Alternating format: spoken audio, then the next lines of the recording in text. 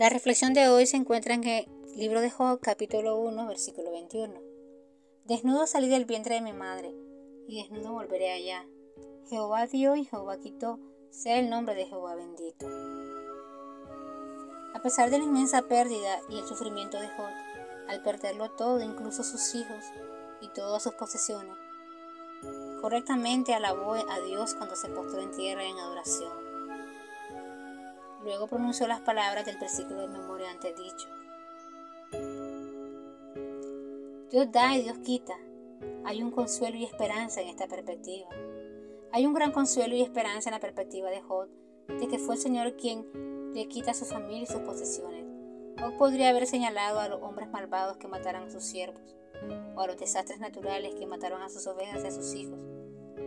Sin embargo, de, de protestar contra la maldad humana y los fenómenos naturales no hace nada para aliviar el dolor. Por lo tanto, Job dijo que Dios da y Dios quita. Job eligió mirar más alto a la fuente última de todas las cosas. Eligió mirar al Señor soberano del universo y poner su confianza en la bondad de Dios. Dios da y Dios quita. A veces Dios permite el sufrimiento en la vida de sus seres queridos. Y durante esos momentos los seres amados de Dios deben aferrarse a la verdad de que Dios es bueno, de que Dios es amor. El Salmos 27, del 3 al 14 dice, hubiera yo desmayado si no creyese que veré la bondad de Jehová en la tierra de los vivientes. Aguarda Jehová, esfuérzate y aléntese tu corazón. Sí, espera Jehová. Dios da y Dios quita. Pero esto no quiere decir que Él sea el autor del dolor y del sufrimiento. Dios da y Dios quita. Quizás a veces no podamos entenderlo, pero Dios está obrando en, nosotros.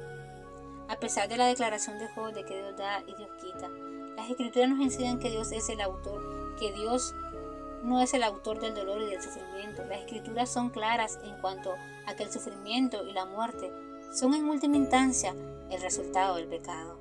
En el caso de Job, Satanás estaba detrás de las tragedias, siendo el cerebro del dolor.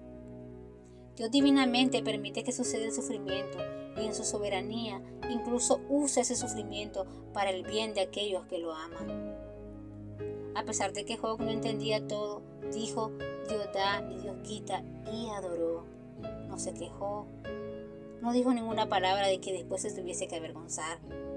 Solo dijo Dios da y Dios quita. Más tarde Job le dijo a Dios, yo conozco que todo lo puedes y que no hay pensamiento que se, que se esconda de ti. ¿Quién es el que oscurece el consejo sin entendimiento? Job 42 del 2 al 3. Job no entendió las razones por las que Dios permitió el sufrimiento, pero aceptó el hecho de que no lo entendía todo. La humanidad debería asombrarse de que el Señor dé cosas buenas a los humanos pecadores. Todas las personas libremente eligen pecar y rebelarse contra Dios.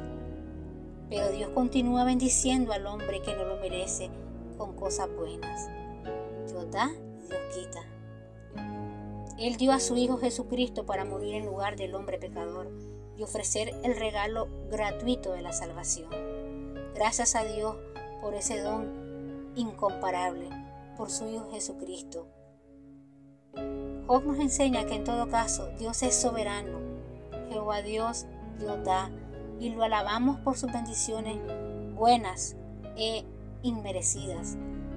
nos ha quitado, Jehová nos ha quitado, Dios quita y lo alabamos porque nuestra pérdida es para nuestro bien. En todas las cosas entonces decimos, Dios da y Dios quita. Sea el nombre de Jehová bendito. Amén. Que el Señor te bendiga.